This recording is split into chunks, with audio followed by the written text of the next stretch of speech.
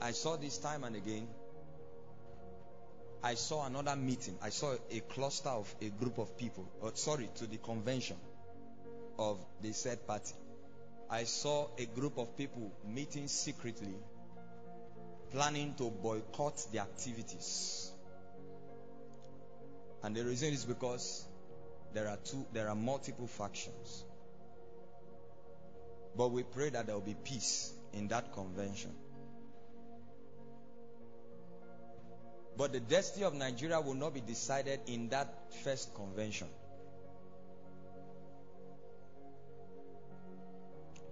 So, I began to pray and intercede to know the mind of God concerning the future of Nigeria's democracy and 2023 election. The reason is because Nigeria is at the trigger point of revival for the end time church globally.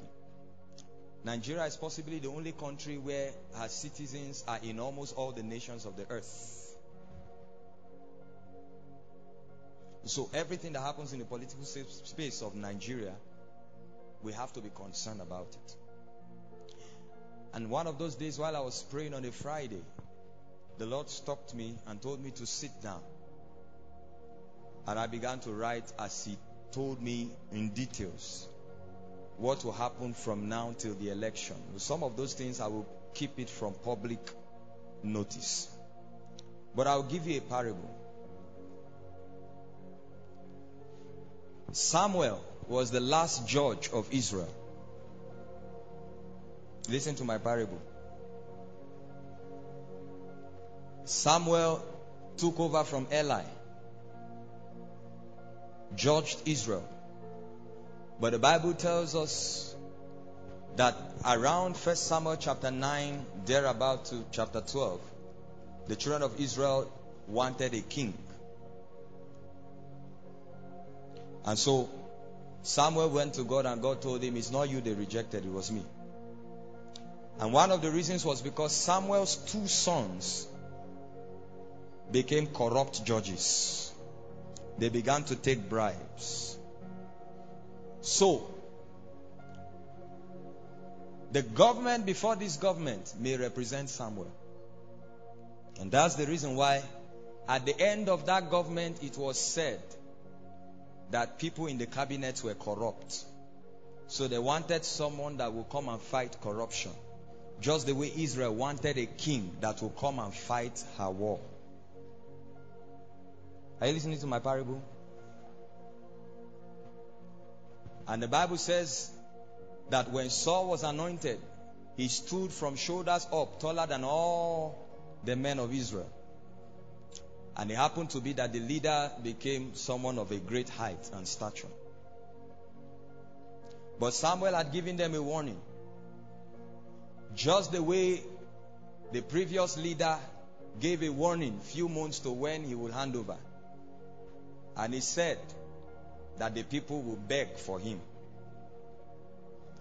Small wonder why, when Saul was reigning and Samuel was long dead, a time came when even Saul went back to seek for Samuel.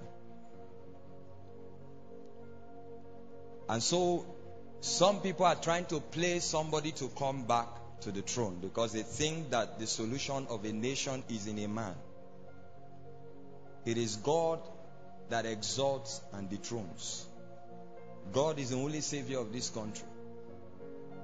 And so if Samuel refused to answer from the dead, or if he refused to interfere, then why are we going back to seek for Samuel when his time is over? But the point where Nigeria has gotten to is between First Samuel and Second Samuel. Saul died.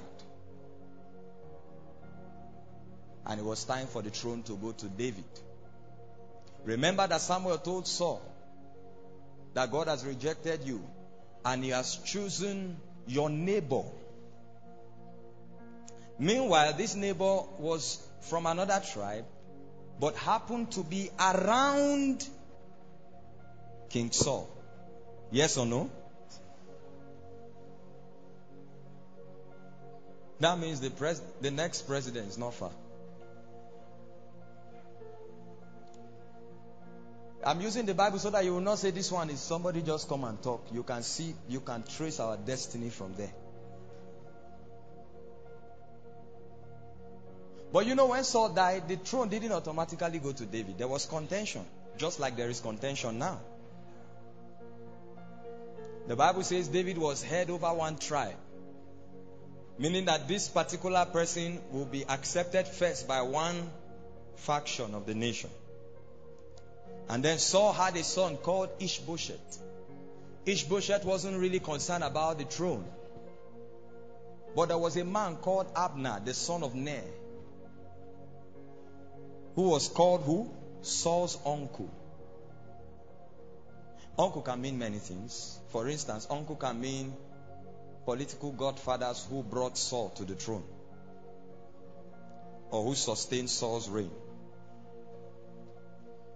Ishbosheth had an ambition.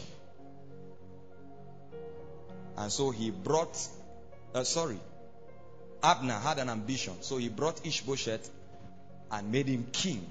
Notice that Ishbosheth was not anointed. That means he wasn't chosen. But the Bible says he disappoints the devices of the crafty so that their hands will not perform their enterprise. And when you read chapter 2 and chapter 3, fight broke out or war broke out between Ishbosheth and Abner.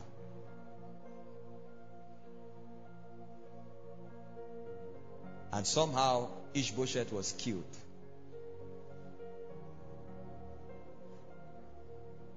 Abner too was killed by Joab.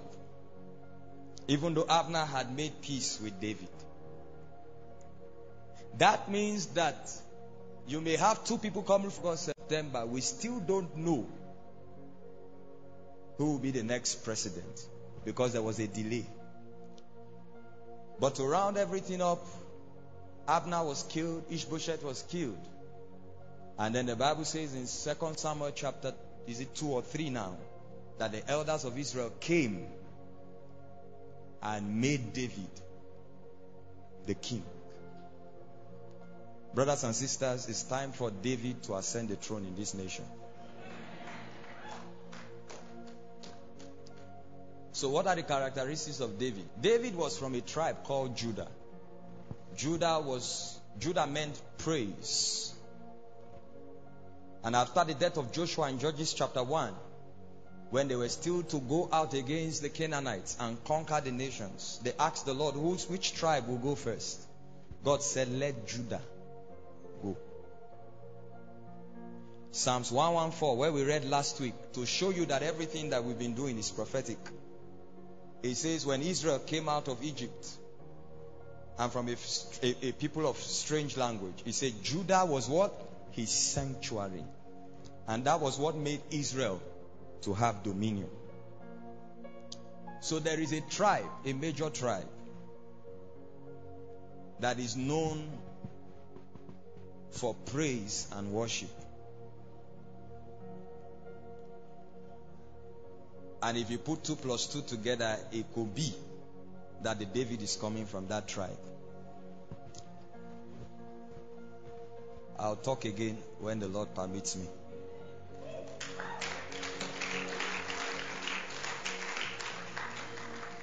I didn't call the name of any candidate. I didn't call the name of any party. I didn't say who will be the next.